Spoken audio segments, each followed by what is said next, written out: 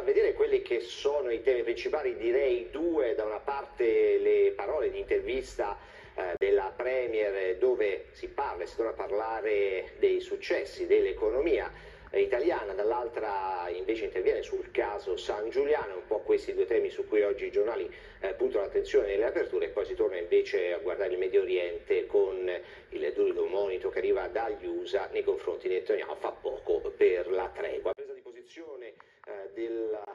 degli Stati Uniti, il macellaio di Gaza seppellito dalla protesta di Israele, una marea umana contro Netanyahu, eh, pure Biden che gli vende le armi non fa abbastanza per l'accordo. Ma il mattino di Puglia e Basilicata vi faccio vedere anche molto velocemente eh, la scelta dell'apertura perché mm, si apre con l'allarme della Corte dei Conti dell'Unione sui ritardi nell'attuazione dei piani, PNRR a rilento, obiettivi a rischio, in Italia si fa fatica ad utilizzare le risorse del recovery, il 62% degli investimenti previsti dovranno venire eh, finalizzati negli ultimi otto mesi di implementazione del piano nel 2026. In tale periodo il nostro Paese dovrà realizzare il 28% degli obiettivi per ricevere il 19% dei fondi.